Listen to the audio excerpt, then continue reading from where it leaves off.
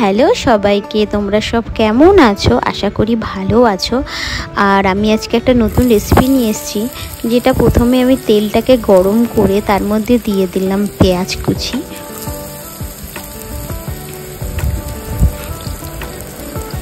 আর দিয়ে দেব সামান্য লঙ্কা কুচি। তোমরা, তোমাদের স্বাদ অনুসারে লঙ্কা দেবে। যদি ঝাল বেশি খেতে পছন্দ করো তাহলে দেবে, না হলে কমই দেওয়া ভালো।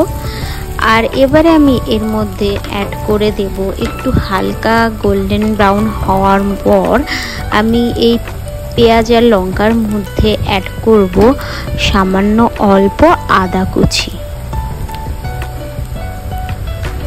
আর অ্যাড করে দেব রসুন কুচি। এবারে ভালো করে আমি এইগুলো সব একসাথে নাড়াচাড়া করে নেব।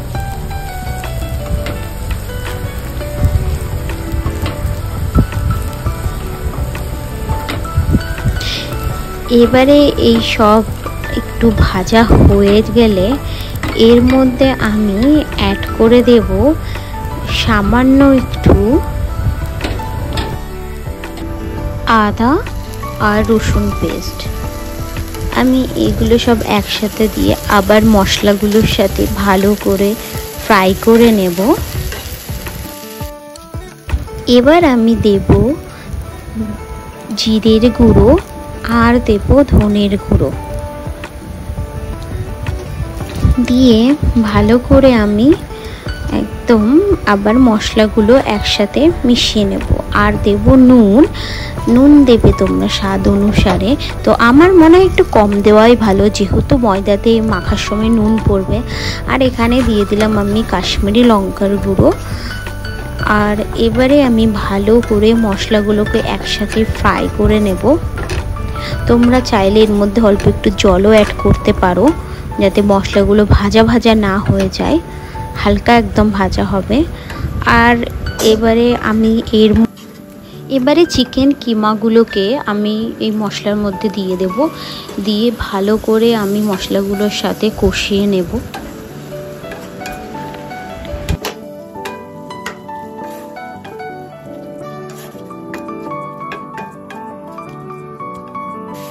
আর এবারে আমি দিয়ে দেবো এর মধ্যে টমেটো পিউরি। তোমরা চাইলে এমনি টমেটো পেস্ট করেও দিতে পারো। আমি ভালো করে মশলাগুলোকে ভালো আর হ্যাঁ আর এর মধ্যে কিন্তু আমি হলুদ অ্যাড করব না। তোমরা চাইলে করতে পারো, না চাইলে নাও করতে পারো। আমি অ্যাড করিনি এখানে হলুদ। তো এবারে দেখো চিকেনটা দিয়ে জল ছেড়ে দিয়েছে। তো এবার আমি দিয়ে দেব এর মধ্যে চাট মশলা। আর দিয়ে দেব এখানে গোলমরিচের গুঁড়ো। দিয়ে ভালো করে আমি আবার সব মশলাগুলোর সাথে একসাথে মাংসটাকে কষিয়ে নেব। আর যতক্ষণ না মাংসটা রান্না ড্রাই ড্রাই হবে, ততক্ষণ পর্যন্ত আমি এই কিমাটাকে করতে থাকব।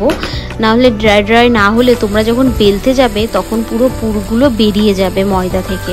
তো আমার এটা করতে অনেকটাই সময় লেগেছিল, আধ ঘণ্টা মতন। আর এবারে আমি এর মধ্যে দিয়ে দিলাম ধনে পাতা কুচি। দিয়ে আমি ভালো করে আবার নাড়াচাড়া করে নেব। দেখো, প্রায় আমার হয়ে এসছে। অনেক দেখো, যে ড্রাই ড্রাই হয়ে এসছে।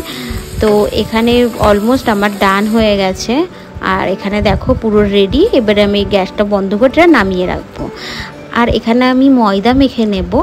তার জন্য আমি নিয়ে নিয়েছি ময়দা। আর দিয়ে দিলাম এর উপরে নুন। আর দিয়ে দেব এর মধ্যে সাদা তেল। আর অল্প একটু চিনি অ্যাড করেছি আমি। আর এর মধ্যে আমি দিয়ে দেব সাহাজিরে। তোমরা চাইলে মৌরি বা হচ্ছে আজওয়ান এগুলো ব্যবহার করতে পারো। তো আমি সাহাজিরাটাই ইউজ করছি। এবারে আমি ময়দাটাকে ভালো করে মেখে নেব উষ্ণ গরম জল দিয়ে। উষ্ণ গরম জল দিয়ে মাখলে কি হয়? অনেক সফট হয়। তো আমি এটা ভালো করে চলো মেখে নিই।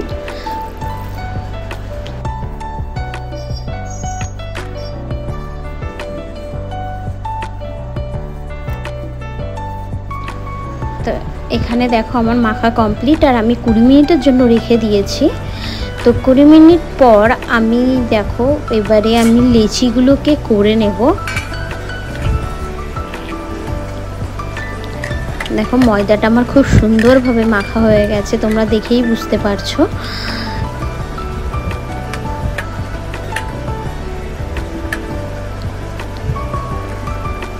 এবারে আমি ডোগুলোকে করে নেব।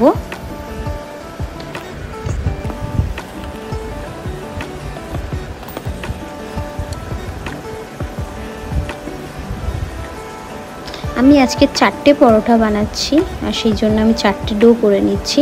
আর লেচিগুলো তোমরা একটু বড় রাখবে, না হলে তোমার চিকেন কিমা লেচি থেকে তোমার বেরিয়ে যেতে পারে। আর একটু আধটু বেরোবেই, কিন্তু তোমরা লিচিগুলো মোটামুটি একটু বড় রাখবে, তাহলে ভালো হয়। তো আমি হাতের সাহায্যে এগুলো গোল গোল করে নিচ্ছি। এবারে আমি এর মধ্যে চিকেন কিমাটাকে দিব। দেখো লিচিগুলো ঠিক এরকম ধরনের হয়েছে। এবারে আমি এরকমভাবে রাউন্ড করে নেব। এবারে গর্তটাই করে নিচ্ছি। আর এই যে চিকেন কিমা দেখতেই পাচ্ছ পুরো ড্রাই হয়ে আছে। আর এর মধ্যে আমি দিয়ে দেব এবার চিকেন কিমাটা। তোমরা চামচের সাহায্যে একটু চেপে চেপে দেবে।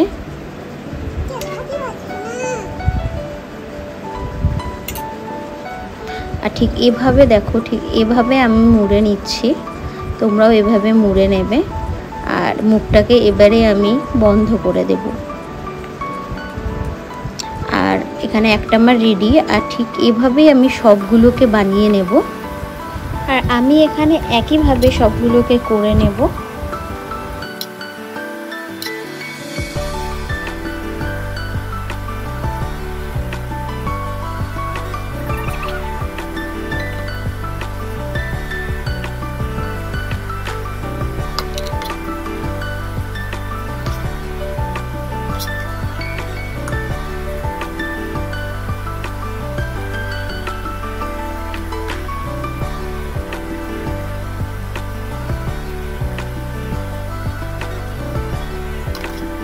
আর এদিকে দেখো ডো রেডি এবারে আমি বেলে নেব, আর তার জন্য আমি অল্প একটু তেল নিয়ে নিয়েছি।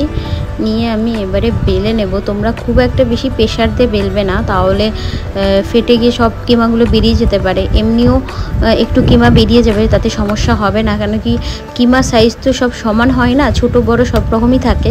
সেই জন্য একটু আধটু বেরিয়ে যায়, তাতে প্রবলেম নেই। তো আমি এখানে পুরো বেলে নিচ্ছি।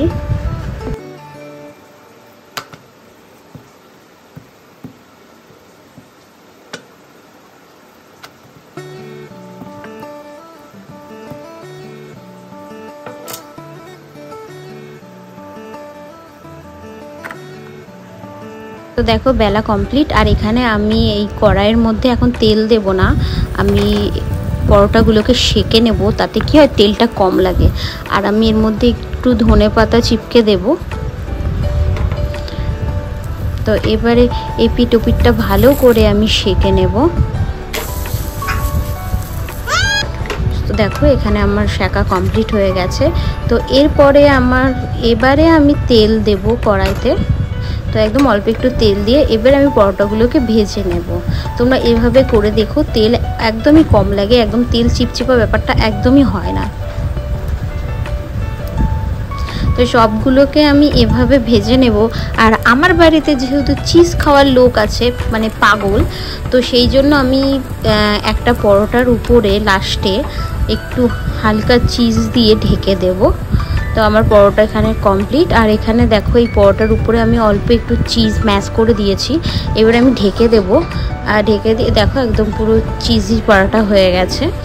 খেতে খুব চিজ পছন্দ করে বলে বাড়িতে, ওর জন্য আমি একটা পরোটায় চিজ দিয়ে দিয়েছি। তোমরা চাইলে দিতে পারো, নাও দিতে পারো। চাইলে পুরোর মতো চিজ দিতে পারো। তো এখানে আমার রেডি পরোটা। আর এই যে দেখো, পুরো একদম পরোটা আমার একদম রেডি হয়ে গেছে। এবারে আমি খেতে বসবো। তো চলো, তোমাদেরকে দেখাই কত সুন্দর ভিতরে কিমাগুলো হয়েছে। আর এটা প্রথমেই যিনি চিজ পাড়াটা খাবে, তার জন্য এই যে দেখো, পুরো একদম চিজি পাড়াটা। আর এখানে এই পাড়াটাটাকে আমি নিয়েছিলাম। পুরো দেখো, ছিটতে না ছিটতেই ভিতর থেকে কেমা, কিমা বার হচ্ছে একদম। আর যাই হোক, আজকের মধ্যে এখানেই শেষ। তোমরা সব ভালো থেকো, সুস্থ থেকো, আর ভালো লাগলে শেয়ার করে দিও লাইক করে দিও কমেন্টস করে দিও।